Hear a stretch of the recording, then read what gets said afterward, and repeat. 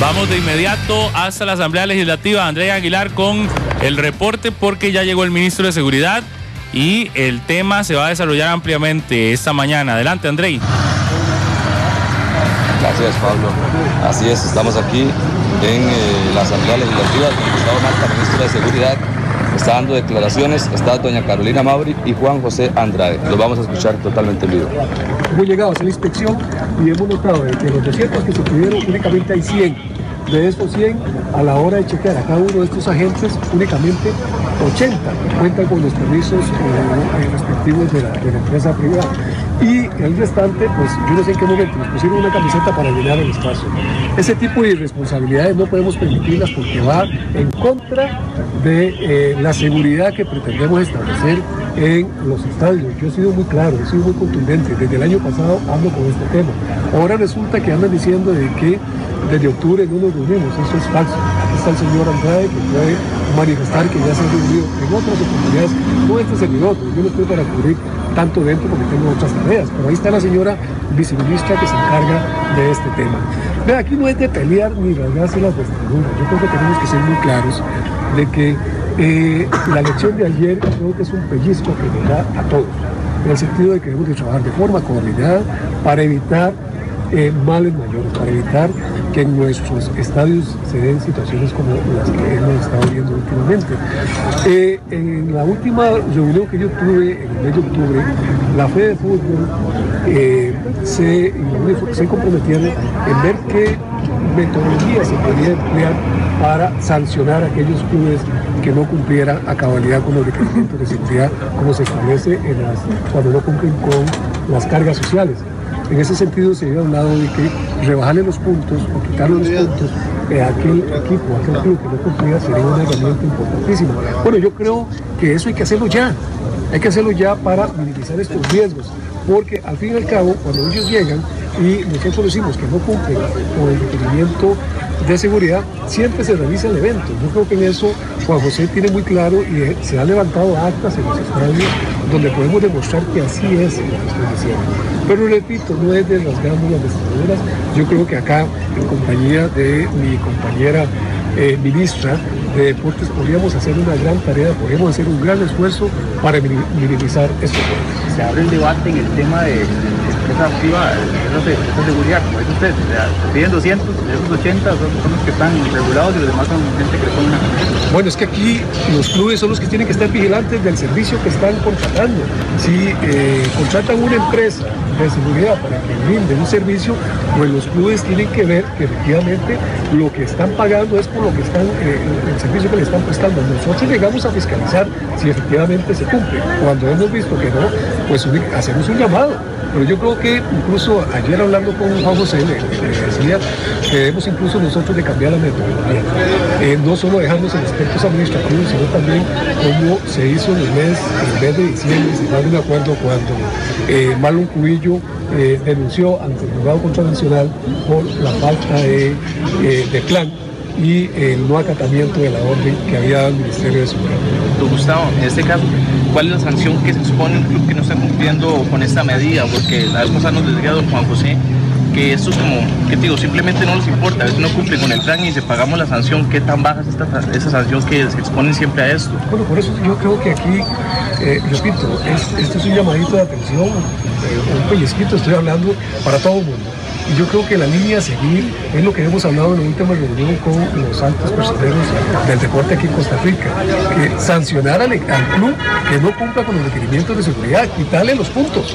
Incluso, yo creo que sería prudente ahora en adelante, cuando nosotros lleguemos a un estadio y vemos de que no cumplen con las medidas de seguridad, inmediatamente buscar los medios de comunicación y que sean testigos de que se está llevando a cabo un partido sin un lineamiento de seguridad establecidos y que se está poniendo en riesgo a los niños y a las, y a las mujeres que visitan esos, esos, esos antros de Don Gustavo, precisamente de eso, ustedes como ente de seguridad no le pueden exigir, pero de verdad a los, a los equipos, porque son muchas las personas que van a los estadios y siempre se habla de lo mismo, de la seguridad, de la poca seguridad existente en los estadios, pero ustedes no pueden exigirle ya como, como ente de seguridad. tenemos ahí cierta normativa, eh, incluso las se está revisando ya desde hace varios meses. Necesitamos un poco de herramienta coercitiva, necesitamos más músculo para decir, que no sé, ayer, ayer conocieron los hechos yo le solicité al compañero eh, Milton que hablara con los eh, árbitros y le sugiriera que ese partido no se podía estar llevando a cabo si no existe la medida de seguridad necesarias. De ahora en adelante vamos a ser más incisivos, vamos a ser más, eh, diría yo, minuciosos.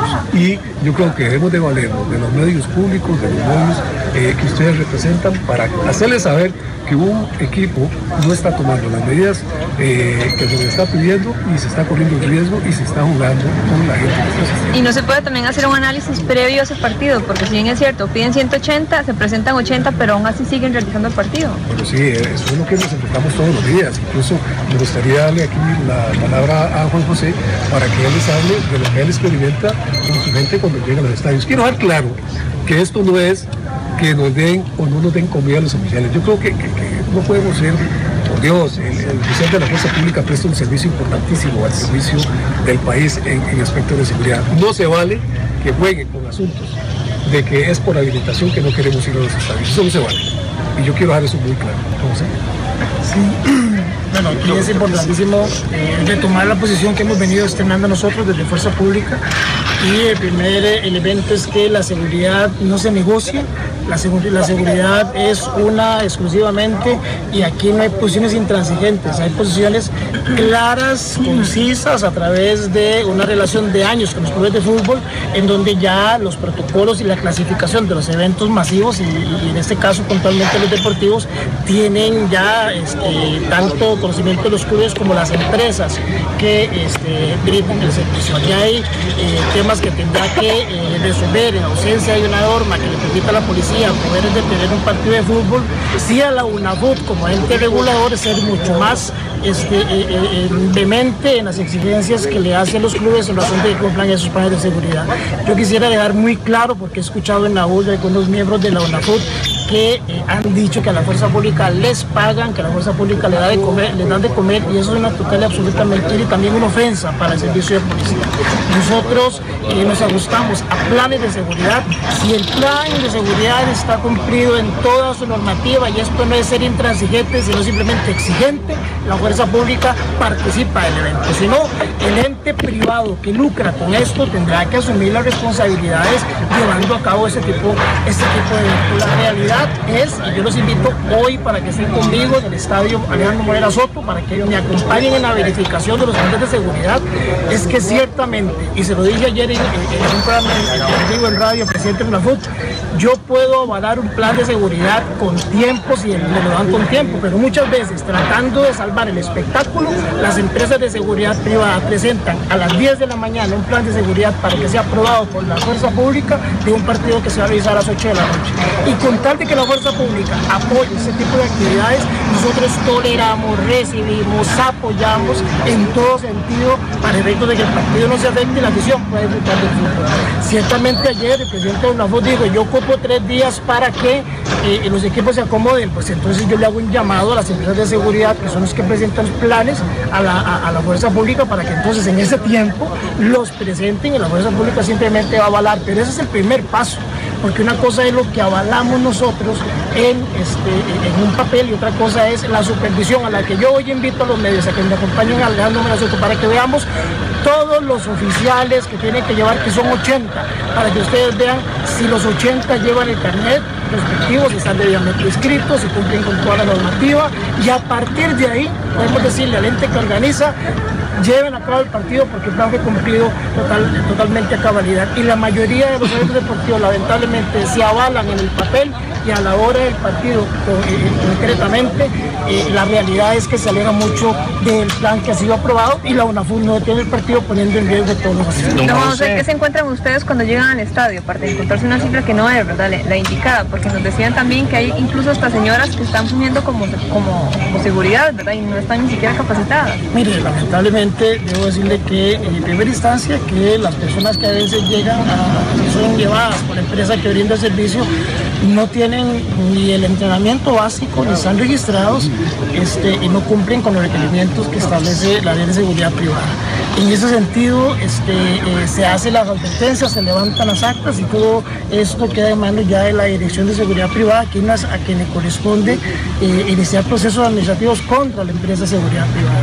Pero además nos hemos encontrado a través del tiempo este, que son los clubes los que guardan instrumentos musicales, que son los clubes los que guardan los extintores, con los que después tienen problemas adentro, que son los clubes los que facilitan a veces la pólvora, este, que los filtros de ingreso eh, que tienen que estar resguardados debidamente por la empresa de seguridad son abandonados y por eso es que a veces tenemos objetos soportantes, armas de fuego dentro de eventos masivos que ponen en riesgo la vida de las personas.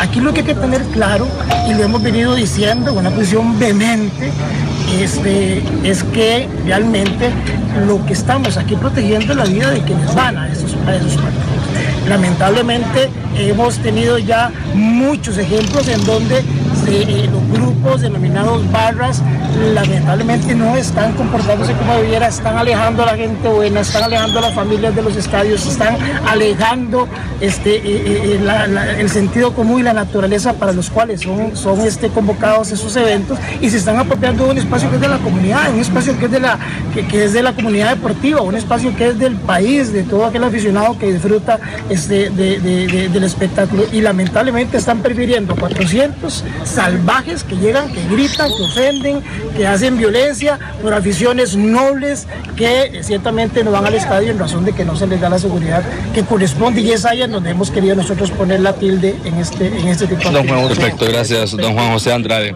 Vamos a, pasar aquí con el ministro. André, me parece, me parece fundamental que podamos consultar.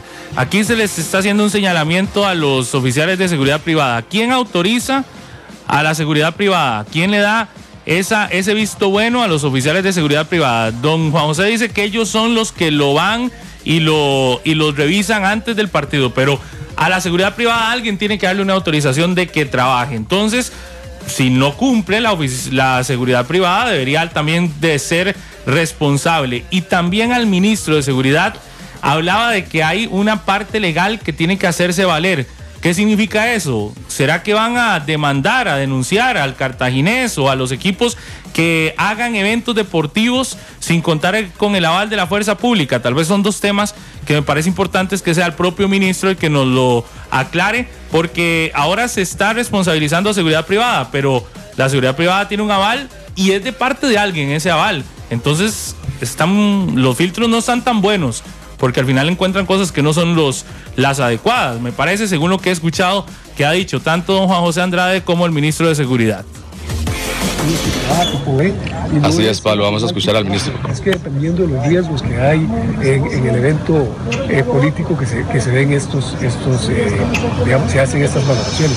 Puede ser que no sea un partido de final y eh, estima pertinente los compañeros de fuerza pública que a ese evento debe ir más seguridad que otros, porque ahí se discuten otro, otro tipo de asuntos. Es momento también, y repito, de poner en evidencia las barras que llegan a apoyar estos grupos eh, deportivos. Si es un riesgo para, para el club que la barra llegue y enfrente las otras barras, pues no las deje entrar.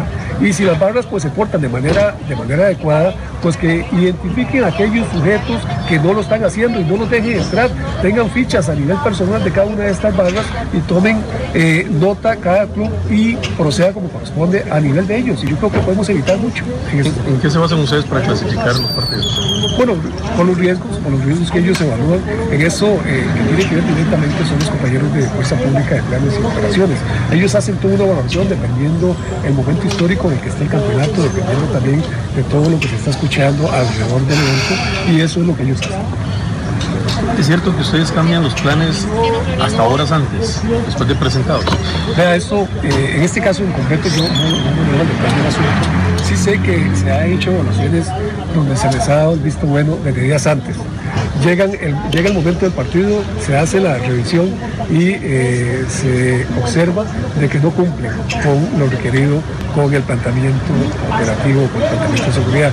Se les había pedido 200 oficiales, por decir un ejemplo, y de esos 200 únicamente hay 100 De esos 100, únicamente 80 oficiales eh, cumplen con la certificación por parte de la empresa de seguridad y 20 no lo tienen. O sea, agarraron 20 personas, les pusieron la camiseta para que anden ahí identificados. Esos son actos irresponsables por parte de estas empresas de seguridad, de la cual hay actas, de, con mucho gusto se las hago llegar para que ustedes las tengan y evidencien lo que está sucediendo. Pero yo repito, aquí no es de pelear, aquí es de trabajar de forma conjunta para evitar que se dé lo que está sucediendo. Por último, señor ministro, ahora sí, hablamos de materia de seguridad aquí adentro. ¿Cómo va a estar su reunión? Bueno, hoy, hoy estoy con la Comisión de Seguridad de Tráfico. La idea es presentarles pues, todo eh, el desarrollo eh, económico que tuvimos este año eh, y pues a qué nos vamos a enfrentar con un recorte de un 8% menos en el presupuesto del Ministerio de Seguridad Pública, con menos ingreso o con ningún ingreso por parte del impuesto de sociedades anónimas que era de 40 mil millones.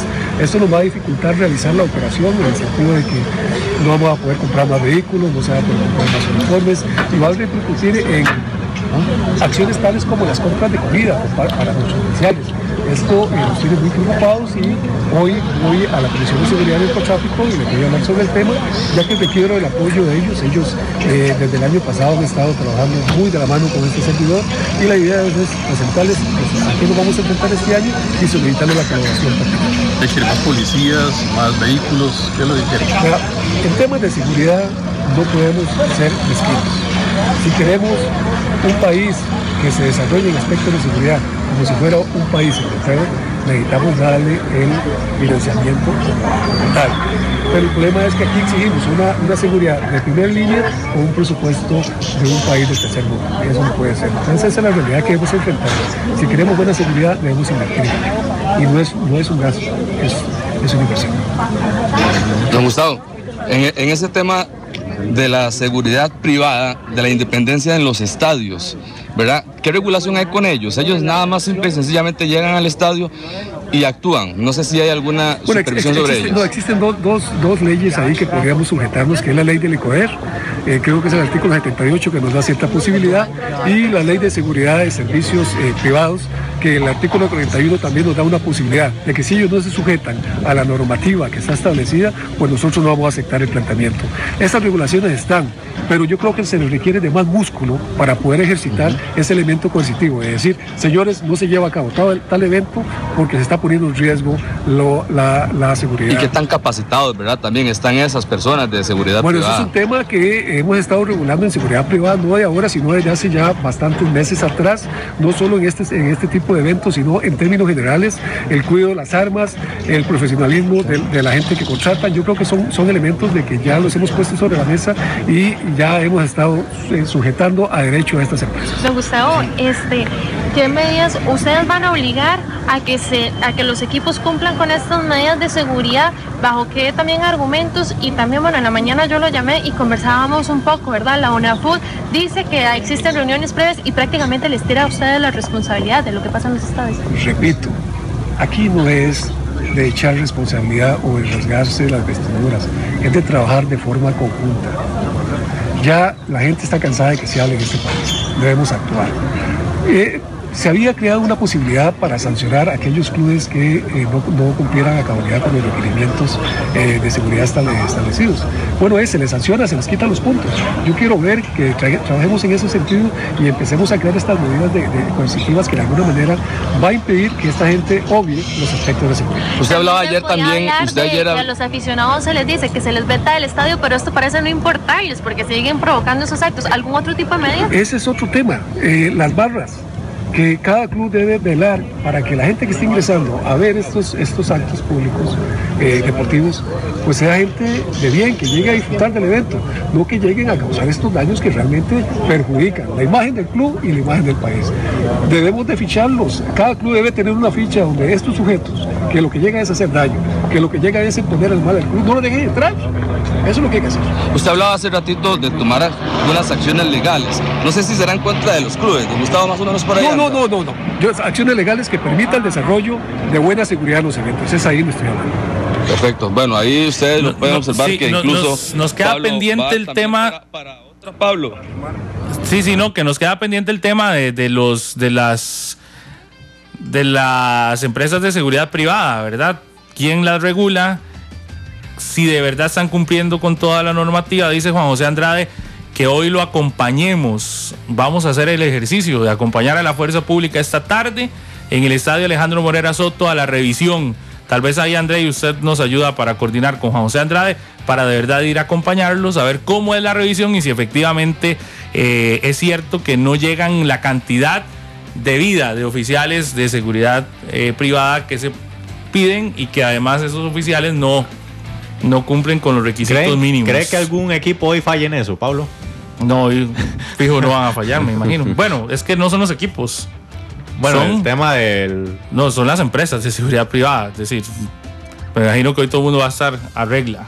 Pero sí, hay que ver. Y, parece que sí, que hay una gran nebulosa sobre quién regula las empresas de seguridad privada, si de verdad eh, las empresas cumplen o no cumplen. Me parece que el tema está.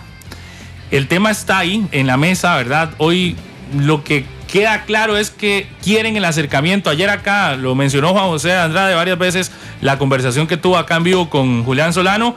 Lo que pasa es que no sé si ya habrá alguna, alguna, algún acercamiento o si no hay acercamiento. Pareciera que es necesario ese acercamiento y lo que la gente está escribiendo es lo mismo. No debería de ponerse en entredicho por una cuestión económica la seguridad de los y las aficionadas que pagan su boleto para ir a ver un espectáculo o un evento deportivo.